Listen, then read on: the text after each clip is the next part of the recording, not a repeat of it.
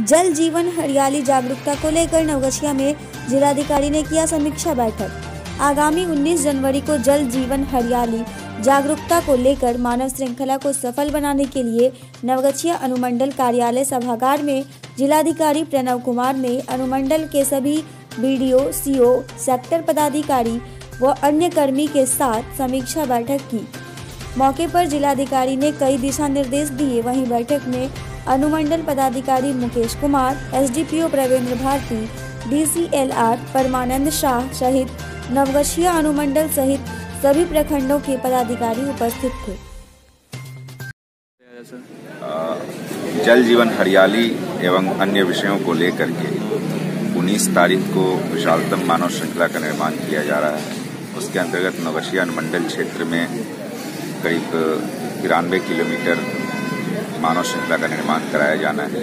इस मानव श्रृंखला का अटूट ये श्रृंखला रहनी है इसमें सभी लोगों की भागीदारी अपेक्षित है। इस व्यवस्था को लेकर के, इस यहाँ की तैयारी को लेकर के हम लोगों ने समीक्षा बैठक की और सेक्टर मजिस्ट्रेट, जोनल मजिस्ट्रेट के साथ समीक्षा बैठक की गई और सभी लोगों ने आश्वस्त किया है कि सभी सेक्टर मजिस्ट्रेट के द्वारा सभी लोगों से जनसंवाद स्थापित किया गया है और लोगों में अभूतपूर्व उत्साह है। इस मानव श्रृंखला में भाग लेने के लिए तो निश्चित रूप से काफ़ी सफलतम कार्यक्रम सफल होगा। तो आगे किस तरह की व्यवस्था की जाएगी सर तिरानवे किलोमीटर की जो यात्रा है इसमें? या... मानव श्रृंखला जो तिरानवे किलोमीटर की है इसमें सभी लोग स्वतः स्फूर्त रूप से आ, मानव श्रृंखला के निर्माण में सड़क पर आकर के अपनी भागीदारी सुनिश्चित करेंगे।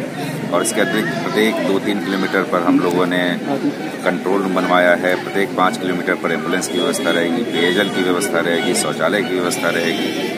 ये सारी व्यवस्थाएँ सुनिश्चित कराई जा रही हैं ताकि लोगों को किसी भी तरह की असुविधा यातायात की किस तरह की व्यवस्था रहेगी सर? सामान्यतः चूँकि बिहार राज्य का करीब आधा आधी आबादी इस श्रृंखला में ही शामिल होगी तो नॉर्मली यातायात काफ़ी कम रहेगा। इसके बावजूद सुरक्षा के दृष्टिकोण से यातायात को नियंत्रित तरीके से परिचालित कराया जाएगा। सर शिक्षकों का भी सुन रहे हैं कि विरोध इसमें मानव श्रृंखला में हो रहा है। इस तरह की कोई सुनने की और बात नहीं आई। एक बहुत ही नोबल कॉज है। इससे बड़ा कॉज मानव जीवन के लिए हो नहीं सकता है कि जल जीवन हरियाली, जल है, हरियाली है, तभी जीवन है। यदि इसमें कोई विरोध करते हैं तो बड़े आश्चर्य।